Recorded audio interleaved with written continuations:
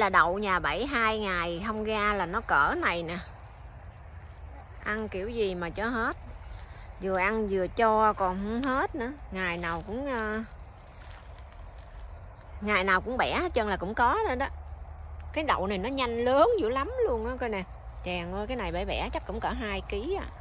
Quá chừng luôn.